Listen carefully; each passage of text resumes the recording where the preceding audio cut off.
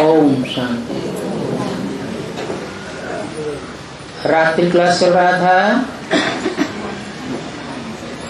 बीस बारह अड़सठ का। दूसरे पेज के एकदम मध्यांत में बात चल रही थी।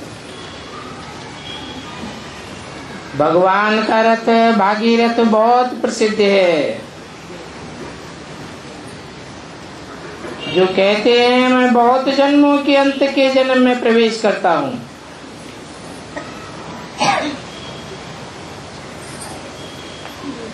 बहुत जन्मों के अंत का जन्म भाग्यशाली होता है या दुर्भाग्यशाली होता है?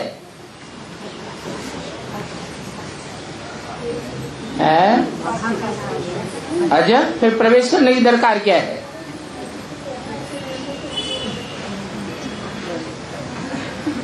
ष्ठी कल्प में हर चीज़ आदि में सतु प्रधान और अंत में तमो प्रधान होती है।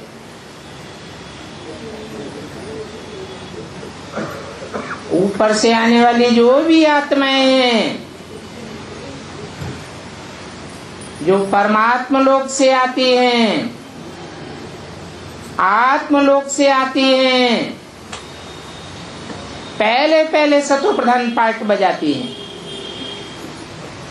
और अंतिम जन्म में तमो प्रधान पार्ट बजाती है। जब तमो प्रधान पार्ट बजाती है तो सभी आत्माओं के रथ भाग्यशाली कहे जाएँ या दुर्भाग्यशाली कहे जाएँ? दुर्भाग्यशाली शरीर हैं। आत्मा भी दुर्भाग्यशाली बन जाती है। बहुत दुखी जब आत्माएँ हो जाती हैं, तब अंतिम जन्म में परमात्मा बाप आकर के दुखी दुनिया को सुखी बनाने के लिए आते हैं। और सुखी बनाने के लिए मनुष्य आत्माओं का जो बीज है पहला पहला बीज, जो सबसे पुराना है, ज़रूर शरीर भी पुराना होगा। उस पुराने से पुराने शरीर में, पुरानी दुनिया में प्रवेश करते हैं। बाप कहते हैं, मेरे लिए कहते भी हैं दूर देश से आने वाला आया देश पर आए उस पराए देश में पतित तो सभी हैं।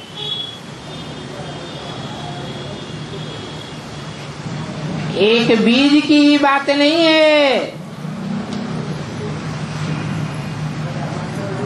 और जो पतित हैं वो सब पुकारते हैं कि पावन बनाने के लिए आओ। ऐसे नहीं कहते हैं कि ज्ञान सुनाने के लिए आओ। अथवा ज्ञान सुना के चले जाओ, हम पावन बनते रहेंगे।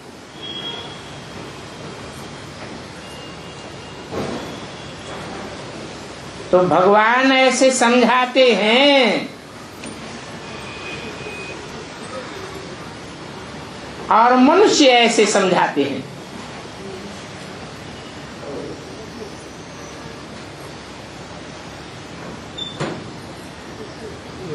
ऐसे ऐसे तुम समझाने देंगे। तो ये अच्छा है। भगवान ने स्वर्ग कैसे स्थापन किया?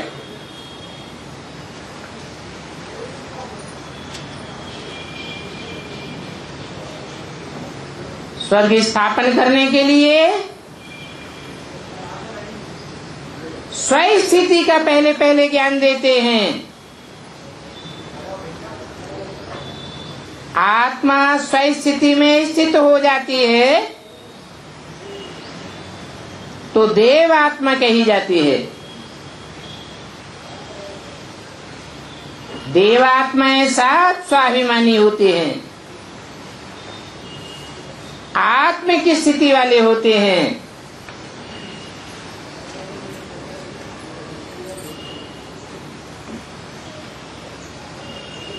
नई दुनिया जब बनती है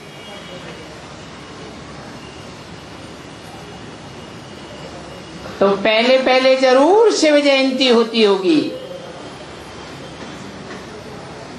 भक्ति मार्ग में शिव जयंती मनाते हैं।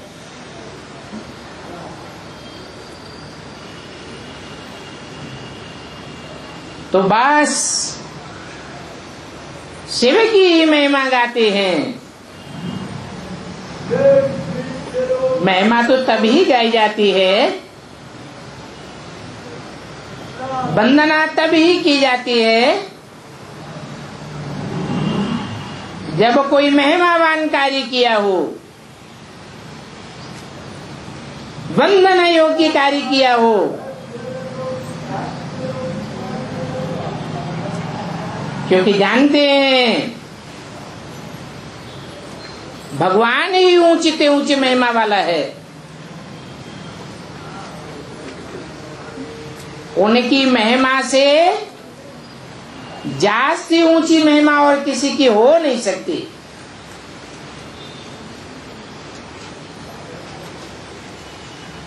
इसलिए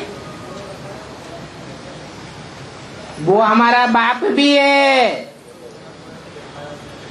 सिर्फ़ हमारा बाप नहीं है। दुनिया में जो भी बाप हैं उन सब बापों का बाप है ग्रेट फादर्स जो धर्म पिताएँ आते हैं, उनका भी बाप है।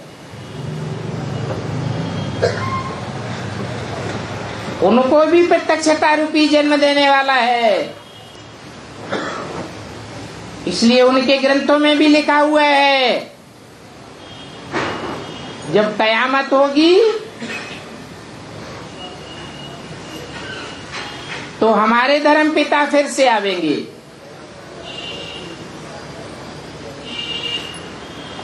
वो नहीं जानते हैं कैसे आवेंगे।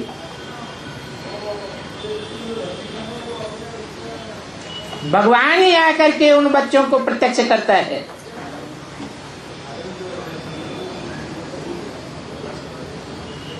वो भगवान जैसे सुप्रीम बाप है। वैसे नॉलेज देने के हिसाब से। सुप्रीम टीचर भी है। वो सबको टीच करने वाला है। सबको पढ़ाई पढ़ाने वाला है, उसको पढ़ाई पढ़ाने वाला एक भी पैदा नहीं हुआ। इसलिए सुप्रीम टीचर है। धर्म पिताएँ भी उससे पढ़ाई पढ़ते हैं।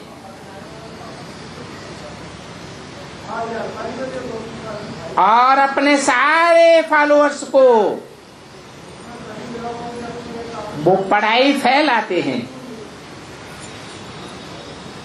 बल पूरी पढ़ाई नहीं पढ़ते।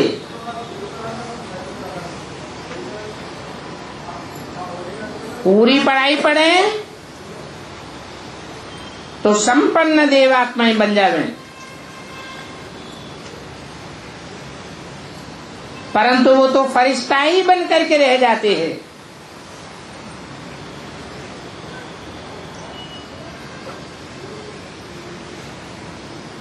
तो वो बाप भी है, सुप्रीम टीचर भी है। फिर साथ में ले जाने वाला सदगुरु भी है। सारी दुनिया की आकर के सदगति करते हैं।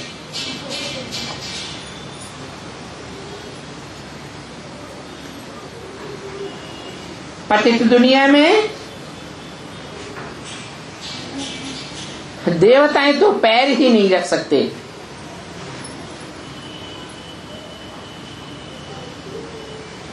पतित दुनिया में भगवान ही आकर के पैर रखते हैं। स्थूल पाँव की बात नहीं है। उनको स्थूल हाथ पाँव तो होते भी नहीं। ये तो बुद्धि रूपी पाँव की बात है। देव आत्माएँ तो इतने कोमल स्वभाव की हैं, कि उन्हें तो झट संग का रंग लग जाता है। भारत में ही स्वर्ग था। वो देवताएँ भारतवासी थे। वो भारतवासी देवताएँ ही कोमल स्वभाव होने के कारण और और धर्मों में कन्वर्ट होते रहे।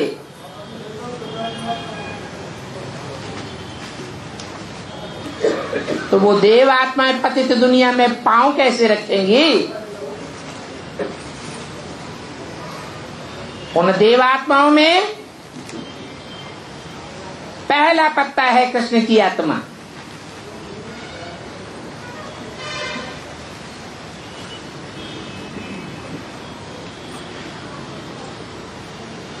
वो देवात्मा है।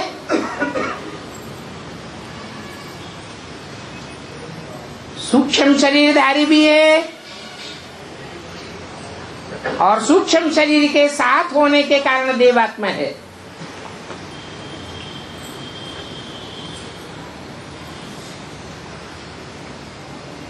शास्त्रों में लिखा है कि ब्रह्मा, विष्णु, शंकर सूक्ष्म देवताएँ थे और हैं।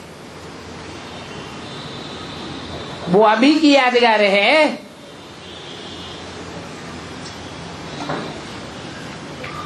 वो सूक्ष्म शरीर वाले देवताएँ सूक्ष्म शरीर से पतित शरीर में प्रवेश नहीं कर सकते।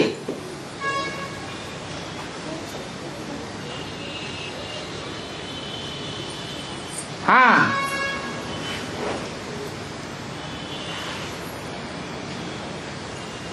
कोई जन्म से ही कन्या हो। शुद्ध वातावरण में पली हुई हो। उसमें प्रवेश भी कर सकते हैं। प्रवेश करके पतितों को पावन बनाने वाला ज्ञान थोड़े ही दे सकेंगे। देव आत्माएँ तो ज़रूर दिव्य ज्ञान, दिव्य गुणों का देंगे। दिव्यता को बढ़ाने वाली की वाणी सुनाएँगे।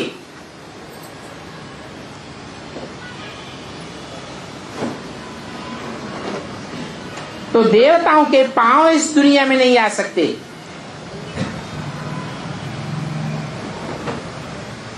आवेंगे। तो उन्हें बीज रूप आत्मा बनना पड़े।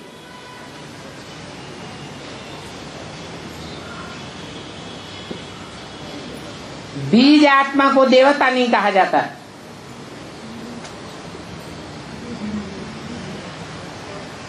देवताएँ इस दुनिया में हो ही नहीं सकते।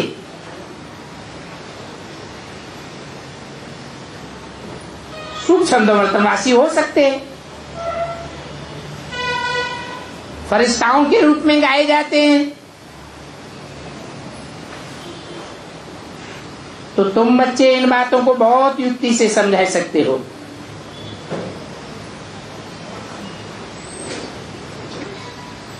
कि पतितों को पावन, पतित मनुष्य तो इस दुनिया के बना ही नहीं सकते। जो खुद ही भ्रष्ट आचरण से, भ्रष्ट इंद्रियों से पैदा हुए हैं। देव आत्माओं के पाँव इस दुनिया में पड़ नहीं सकते।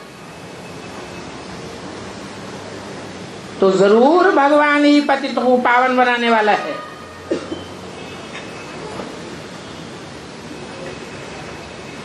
समझाने वाला बहुत मज़बूत चाहिए।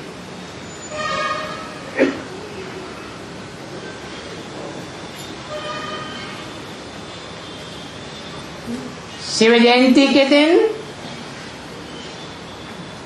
ऐसे ऐसे अपनी बात बताओ।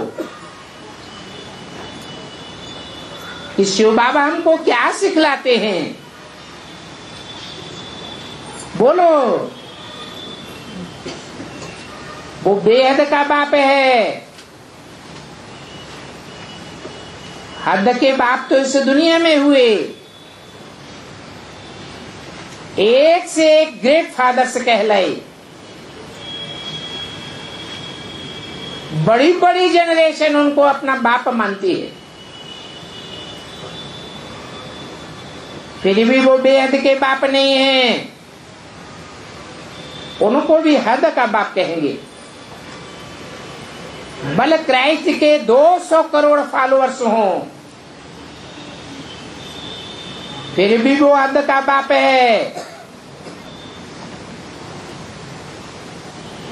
वो आत्माओं का बाप तो 500 करोड़ 700 करोड़ जो भी मनुष्य आत्माएँ हैं। उन सब का क्रिएटर बाप है। और मनुष्य शक्ति के बाप में प्रवेश करता है।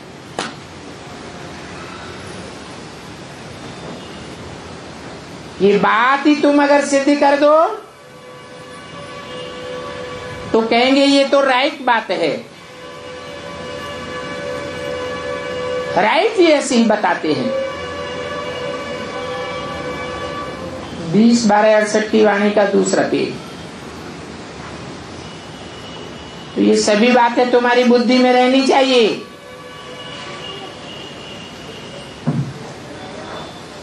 परिचय देना है।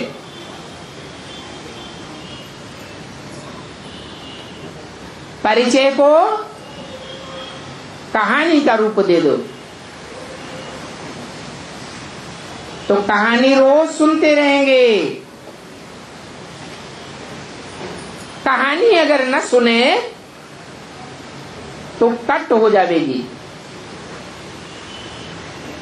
भारत में सत्यनारायण की कथा सुनाते हैं ना? कथा माने कहानी। तो सतयुग से लेकर कलयुग अंत तक कैसे चक्र में फिरते हैं रोज रोज सुनावेंगे ना?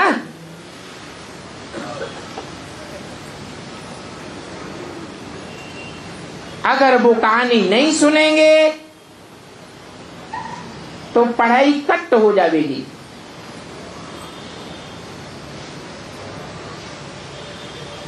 उस ऊंचते ऊंच पाठधारी के बच्चे नहीं बन सकेंगे। ये सभी ख्यालात करनी है।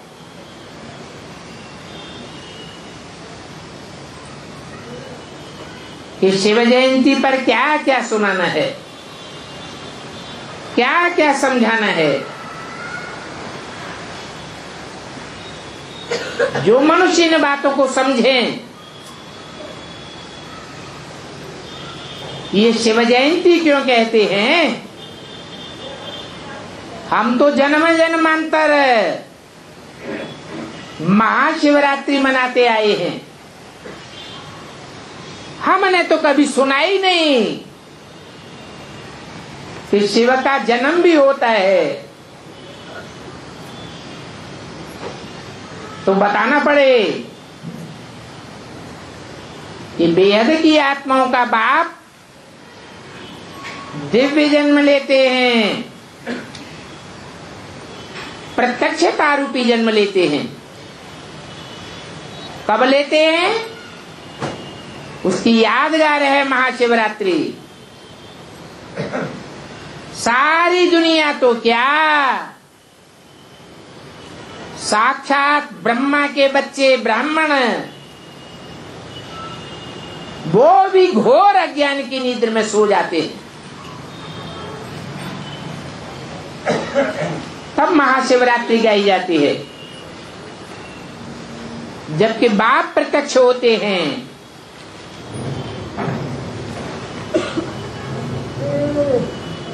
बाप हमको आकर के इस रथ द्वारा पढ़ाते हैं।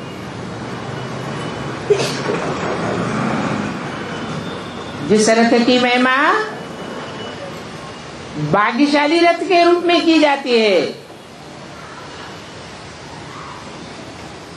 कि भागीरथ ने ज्ञान गंगा लाई।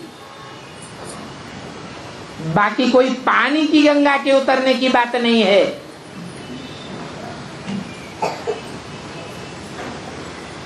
ज्ञान कोई कन्या नहीं लाती है।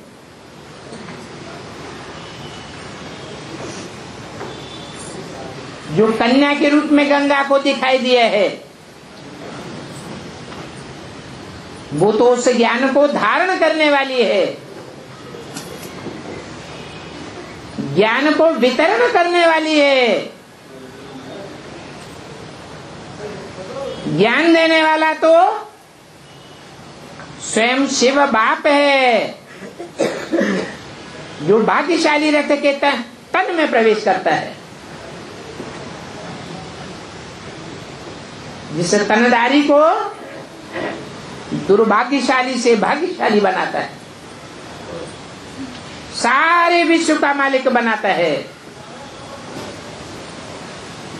तो उन्हें बताओ, समझाओ कि हम उस रथ के द्वारा पढ़ रहे हैं। पढ़ाने वाला शिव बाप है। और शिव बाप से हमारी आत्मा ही पड़ती है। शिव बाप आत्मा है। वो भी अविनाशी आत्मा है, हम भी अविनाशी आत्मा है। हम अपने स्वरूप को भूल जाते हैं। वो अविनाशी बाप आकर के हमको आत्मा का ज्ञान देता है। इसलिए हमारा बाप है। जैसे कि हम आत्मा को जन्म देता है।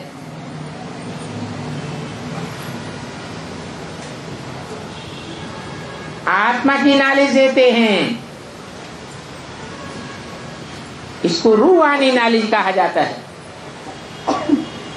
रूह का कनेक्शन अनेक जन्मों से है। जो भी चौरासी के चक्र में आने वाली आत्माएँ हैं चाहे पूरे चौरासी जन्म लेने वाली हो, चाहे कम जन्म लेने वाली हो सबका परिचय मिल जाता है। ये बाप की ही नॉलेज है। जो हर आत्मा रूपी एक्टर को अपने जन्म जन्मांतर की एक्ट का स्मरण दिलाती है।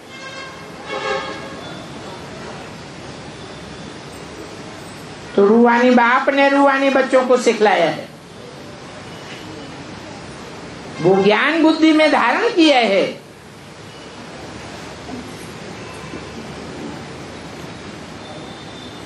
वो बाप मनुष्य सृष्टि का बीज रूप है। क्योंकि मनुष्य सृष्टि के बीज में प्रवेश करता है। उसमें प्रवेश करके संसार में प्रत्यक्ष होता है।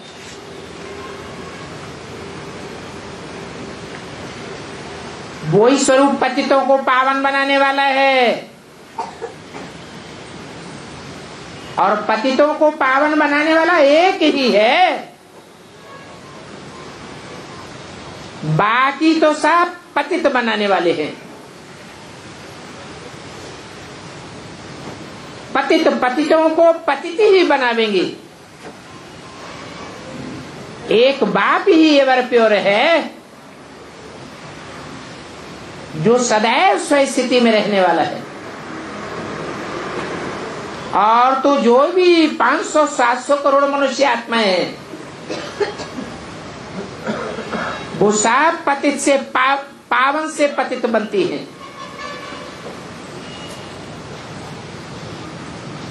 ऊपर से नीचे की ओर जाती है। बाप तो पतित सृष्टि में आने के बावजूद भी पतितों के संग के रंग में आने के बावजूद भी पतितम कामी कांटे में प्रवेश करने के बावजूद भी कभी भी पतित नहीं बनता। वो कभी प्रभावित होता ही नहीं। उसको कोई के संग का रंग लगता ही नहीं।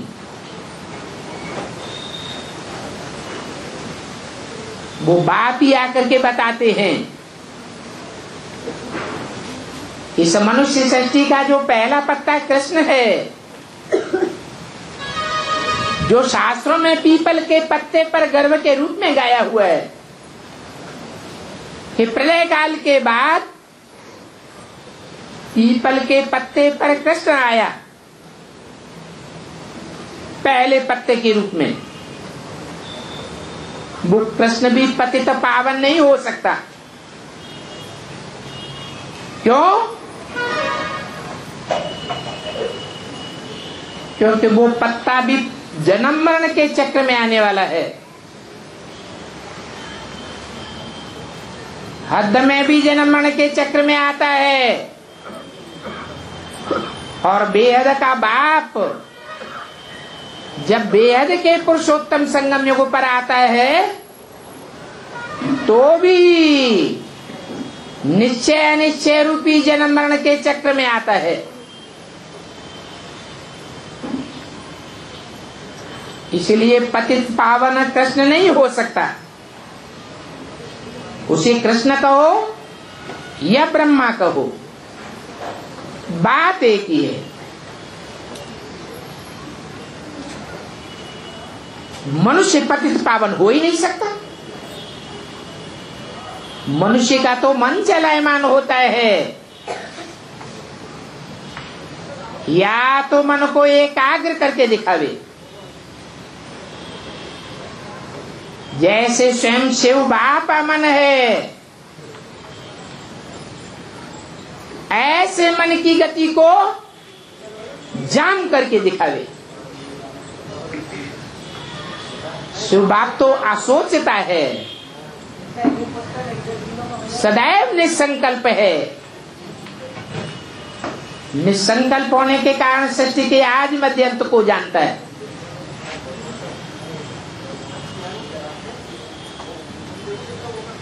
वो ज्ञान का सागर है। जो जितना ज्ञानवान होगा, वो उतना ही पावन बनता है।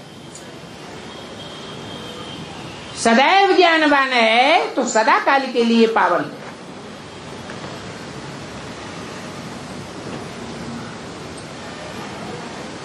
तो ऐसी ऐसी बातें सेमिनार में समझाओ। सेमिनार बड़ा होगा। अच्छी तरह विचार सागर मंथन करके स्पीकर बनो।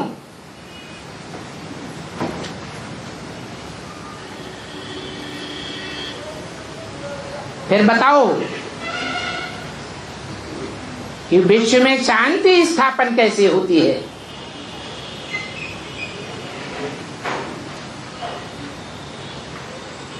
शांति स्थापन करने के लिए शास्त्रों में शांति देवा गाया हुआ है।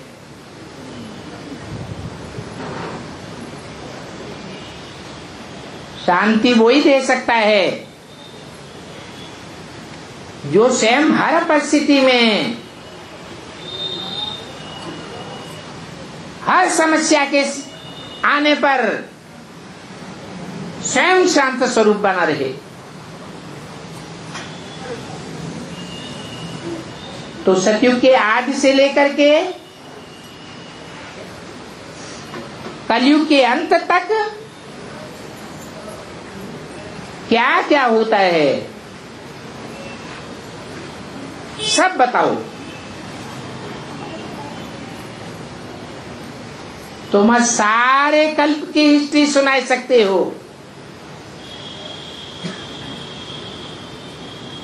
विचार सागर मंथन करते रहेंगे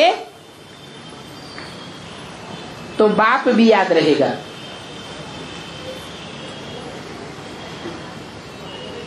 तुम्हारी बुद्धि भी चलती रहेगी।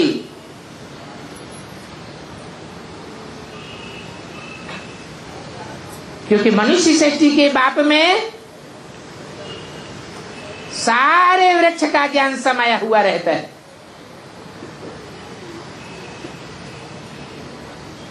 स्वयं निसंकल्पी बाप, असोचता आत्माओं का बाप, मनुष्य सृष्टि के बाप में प्रवेश करता है।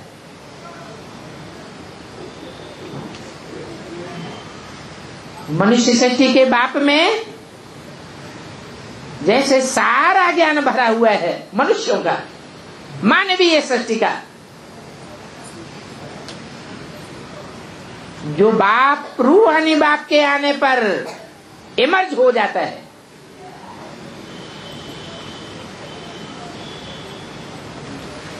उसमें आए हुए रूहानी बाप तुमको याद आते रहेंगे। ऐसा लक्ष्य रखना है कि हमको भाषण करना है।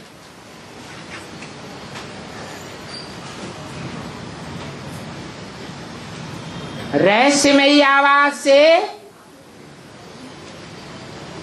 सृष्टि की गुह्य बातें सुनाकर सारी मनुष्य शक्ति को जागृत करना है। तो सबके जीवन का कल्याण हो जाएगा।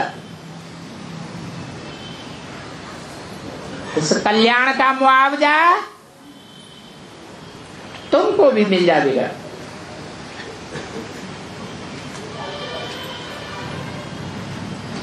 तो अपने अंदर देखना चाहिए कि हम बच्चों को हरदम बाप याद आता रहता है।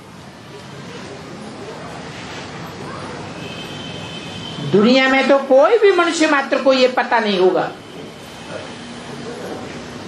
कि हम भविष्य में क्या बनने वाले हैं।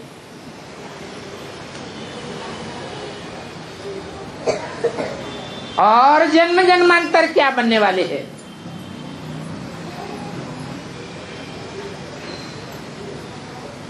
तुमको तो पता पड़ जाता है। अगर प्रिंस बनेंगे सो भी कौन सा प्रिंस बनेंगे? कौन सी डायनेस्टी के प्रिंस बनेंगे?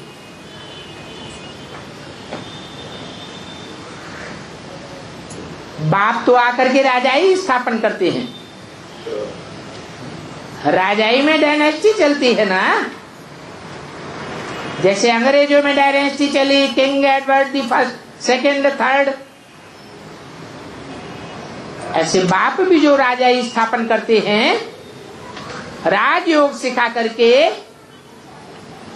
उसमें भी डायनेस्टी चलती है। Narayan the first second third तो मालूम पड़ेगा कौन सा प्रिंस बनेंगे। जो चित्र सामने खड़ा है, ये लक्ष्मी नारायण तो मशहूर हैं। ये कोई अकेले लक्ष्मी नारायण नहीं बनेंगे। और दूसरे भी बनेंगे। परंतु पहले नंबर की महिमा हो जाती है। औरों की फिर नंबरवार पहले नंबर जो लक्ष्मी नारायण है, उनकी जैसी महिमा तो और कोई की हो ही नहीं सकती। शास्त्रों में उनकी कोई ग्लानी नहीं है। तैतीस करोड़ देवताओं की ग्लानी भरी पड़ी है। इन्हें लक्ष्मी नारायण की कोई ग्लानी नहीं है। तो पूरी माला बनती है। माला में नंबरवार संगठन के मड़के पिरोए जाते हैं। तो तुम्हारे पास तो बहुत बातों का समझाने का स्टॉक है। एकांत में बैठते हैं तो भी यही सब बताना है। एक एक के सामने समझाने बैठते हैं तो भी यही बताना है कि बेहद का बाप हमको क्या क्या सिखलाते हैं।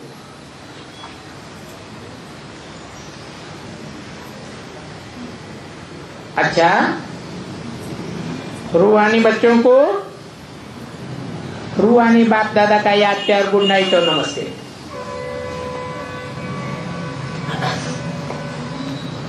अगला रात्रि क्लास है इक्कीस बारह अड़सठ का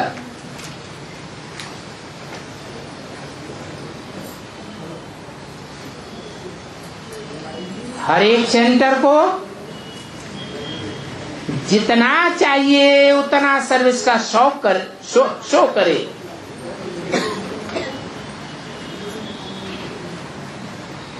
जो बाप से सीखे हैं, वो औरों को भी सुना दें। सबको रचयिता और रचना का राज समझाना है। जो जो भूले हुई हैं,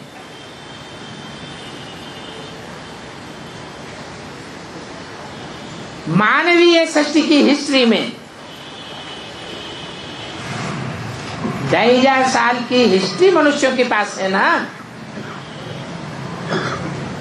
वो सारी भूलें बतानी है।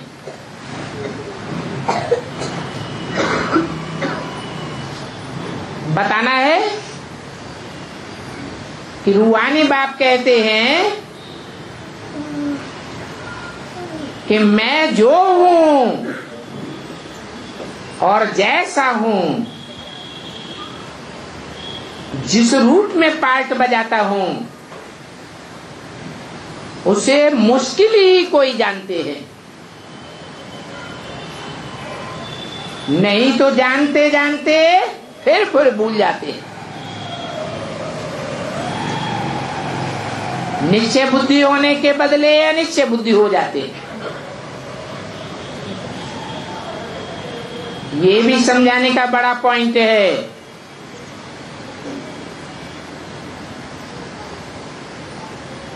अब प्रश्न तो कोई ऐसा साधारण नहीं है,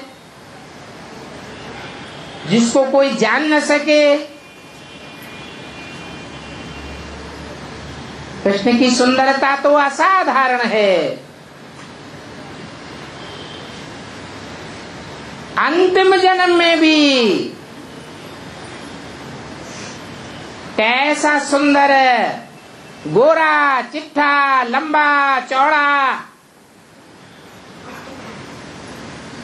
शरीर मिलता है। तो उससे पहले जन्मों में तो क्या नहीं होगा?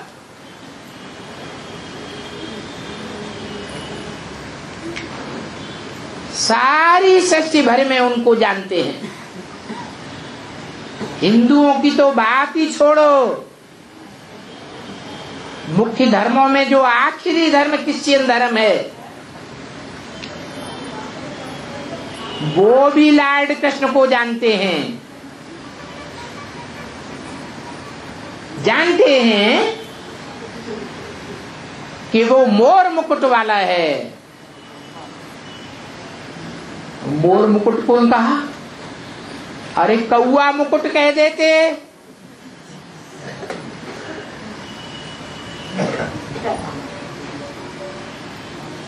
अंग्रेज़ आए, भारत में आक्रमण किया।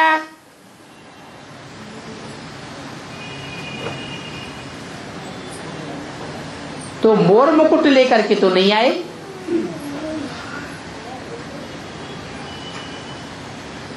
अलेक्जेंडर ने भारत में आक्रमण किया।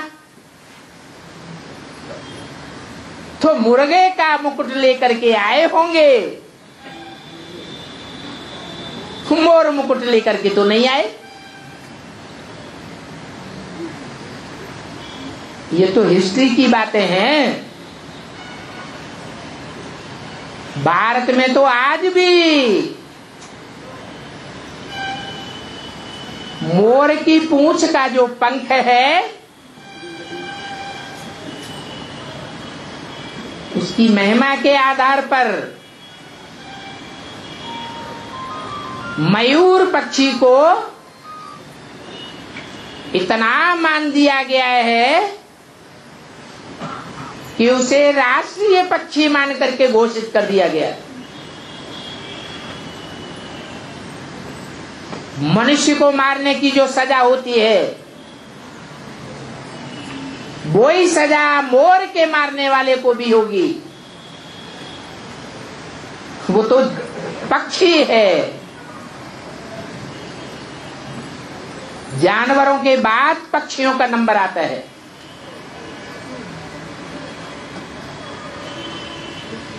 पहले पहले तो मनुष्यों की जनरेशन है। तो भी देखो मोर पंख का कितना गायन है।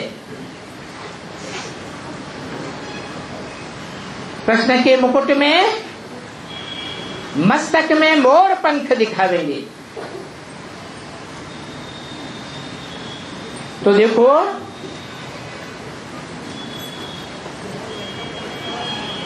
तो प्रश्न ऐसा नहीं है जिसको कोई न जान सके।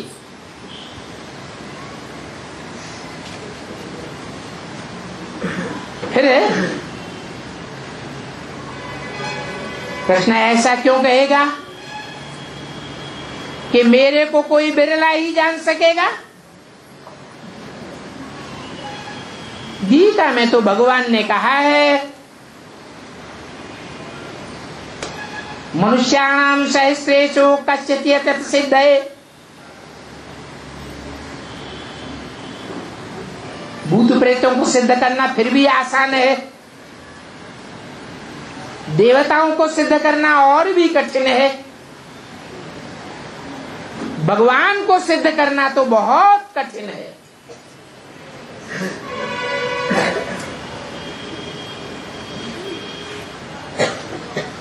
गुह्य ते ज्ञान, गुह्य सुनाने वाला है।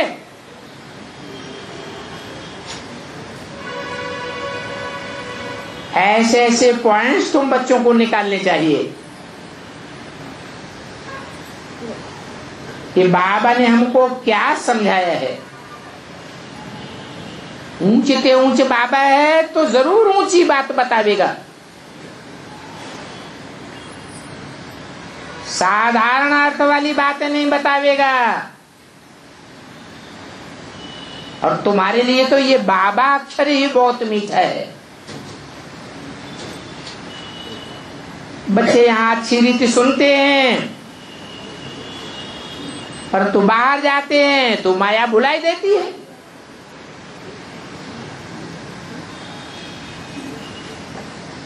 तो कहेंगे कि ये तो हमको पहले समझाते थे, सिखलाते थे। फिर अभी तो ये ट्रेटर बन पड़े। जिसकी महिमा करते थे, भगवान के रूप में प्रत्यक्ष करते थे, उसकी ग्लानी करने लग पड़े। हमको समझाने वाले को माया ग्रह ने पूरा ही हप कर लिया। शास्त्रों में कथा कहानियाँ भी बनाई दी है। बाप ने तो समझाया है, तुम इक्कीस जन्मों के लिए पद्मा पदम भाग्यशाली बन सकते हो।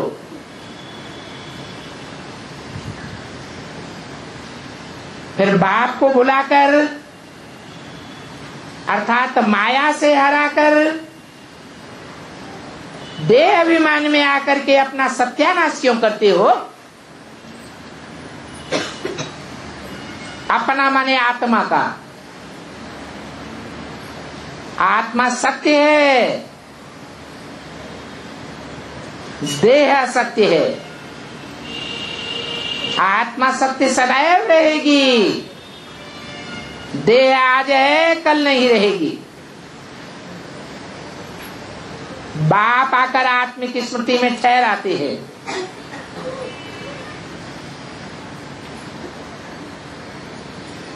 तो तुम सत्युग में जाने वाले सत्य आत्मा बन जाते हो। सत्यम, शिवम, सुंदरम के बच्चे बन जाते हो। माया तुम्हें ऐसा भरमाती है कि देह भान में ला देती है। आत्म की स्मृति को ही भुला देती है। तो तुम्हारी आत्मा का सत्यानाश हो जाता है। तो दिल में आता है ना?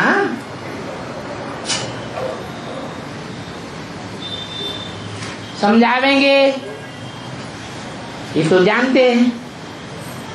जो ट्रेटर बनते हैं,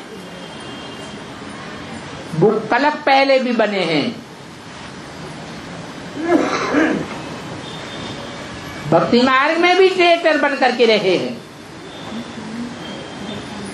और और धर्मों में कन्वर्ट हो करके कितनी भारत की और भारतवासियों की ग्लानी की है।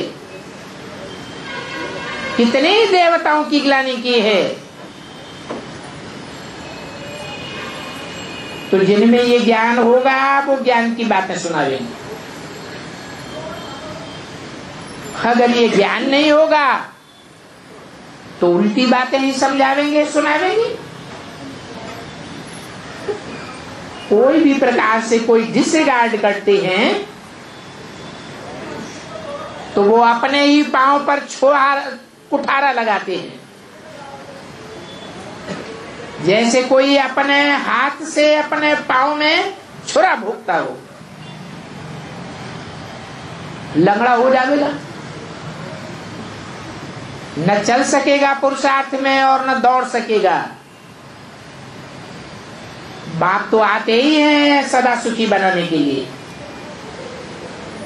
समझदार, समझू, सयाना बनाते हैं। बाप दादा को भूल कब कोई पढ़ाई को छोड़ नहीं सकता? अगर पढ़ाई कोई छोड़ देते हैं या मिस करते रहते हैं तो उनका बेड़ा ही गर्क हो जाएगा। बेड़ा कोई काठ की नवैया कोई नहीं कहा जाता है। जहाज़ कोई नहीं कहा जाता है।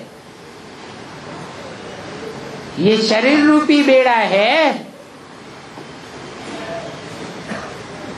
इस बेड़े का खेवैया बाप आया हुआ है। इस शरीर रूपी नवैया में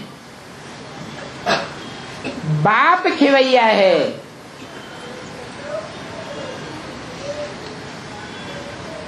ये जहाज़ के रूप में कार्य करने वाला है। शास्त्रों में भी इसका गायन है। चंद्रकांत वेदांत जहाज़।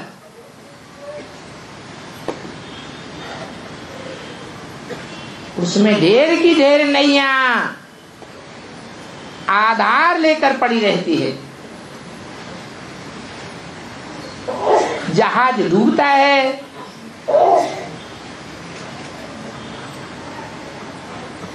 जैसे कि त्रेता के अंत में जहाज़ डूबा था। तो लोग नवैयों पर सवार हो गए। डूबते उछलते कोई पहले पहले नवैया पर सवार हुआ, कोई बाद में सवार हो गए।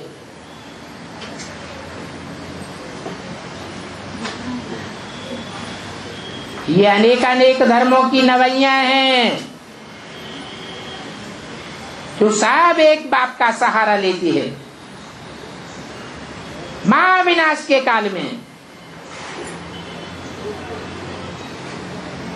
वो चाप कहो, वो धनुष कहो, वो जहाज़ कहो शास्त्रों में गाया हुआ है। सिखों में भी कहते हैं, नानक चाप जहाज़ अब उन्होंने तो नानक को सदगुरु समझ लिया है। उनके आने के बाद तो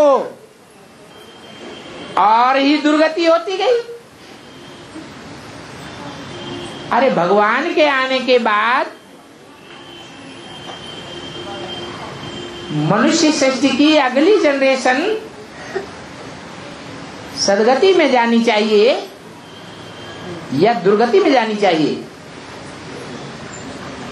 भगवान तो सबका सदगति दाता है। तो आते हैं, बताते हैं कि अभी बेड़ा गर्क नहीं करना है।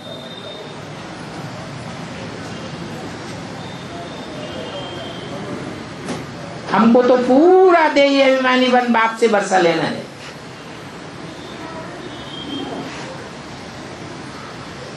देह अभिमान में आने से धोखा खाया जाता है। नहीं तो अच्छे अच्छे को माया हप कर लेती है।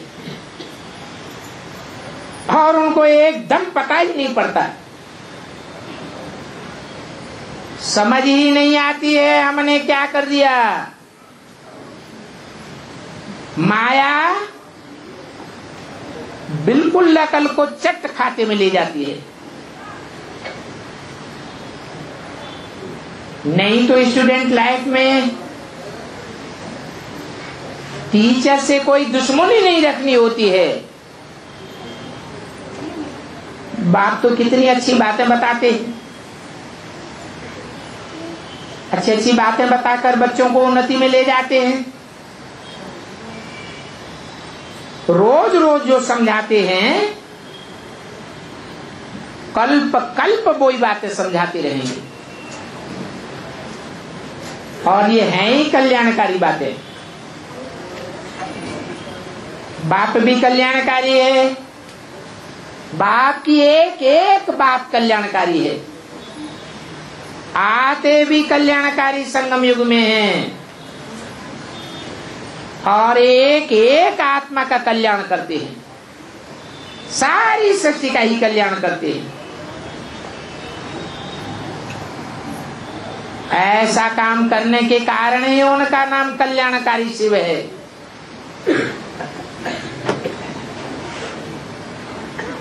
ये नाम और कोई के ऊपर सुशोभित नहीं होता। क्योंकि काम के आधार पर ही नाम पड़ते हैं। वेद के बाप की एक एक बात में कुछ न कुछ कल्याण ज़रूर भरा पड़ा है।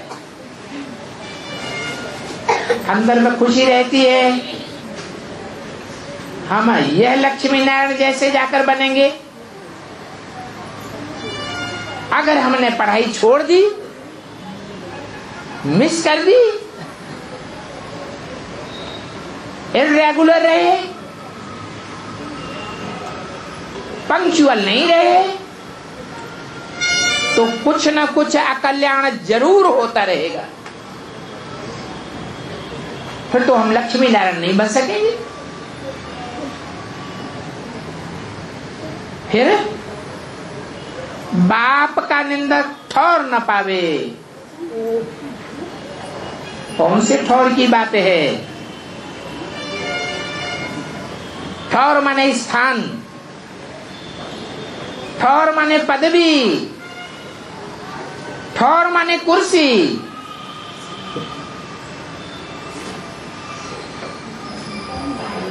जो अष्ट देवों की कुर्सी बनती है। अष्ट देवों को जो ठौर मिलता है,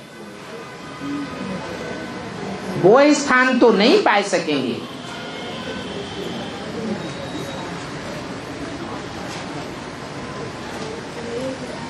जैसे तकड़ा चढ़ाते हैं, वैसे उतरते भी हैं।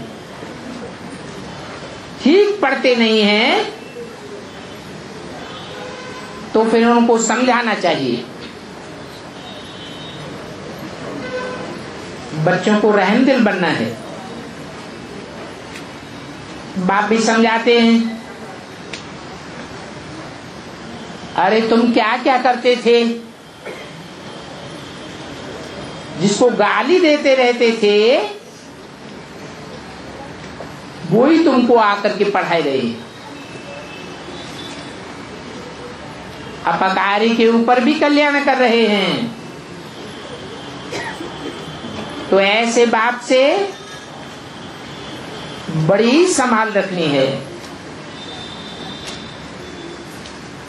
बाप समझाते तो बहुत से। मूल बात तो एक ही है कि विकार में नहीं जाना है। कार कर्म को कहा जाता है। विमाने विपरीत। भगवान जो कार्य करना सिखलाते हैं उसके विपरीत तो कोई भी कर्म नहीं करना है। कोई भी कर्मेंद्रिय से कोई विपरीत कर्म किया तो विकार के खाते में चला जाएगा। आँख से किया, हाथ पाँव से किया, कान से किया मुख से किया, कोई भी कर्मेंद्रिय से विपरीत कर्म किया तो विकार के खाते में जाएगा। विकर्म बनाए देगा, पाप कर्म बनाए देगा। और ब्राह्मण बन करके पाप कर्म किया तो सौ गुना बोझा चलता है।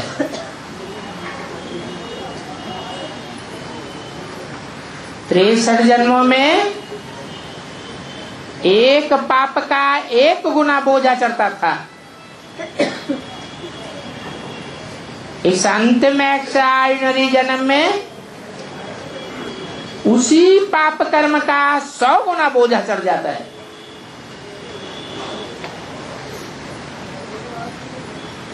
तो पक्का करना है कि हमको कोई भी हालत में, देह अभिमान में नहीं जाना है।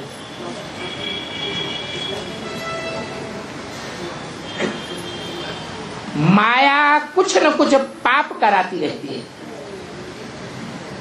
देह वाहन में ला कर दी फिर न बताने से और भी वृद्धि को पाता जाता है। सच्चा बाप आया हुआ है। सच बाप, जो सत्य को स्थापन करने वाला है, सच्ची बातें बताने वाला है, उसके साथ सच्चार होकर रहना है। नहीं रहेंगे तो पाप वृद्धि को पाता रहेगा, फिर पद भ्रष्ट हो जाते हैं। बाप को बड़े प्यार से बहुत बहुत याद करना है। बाबा बाबा करते रहते हैं।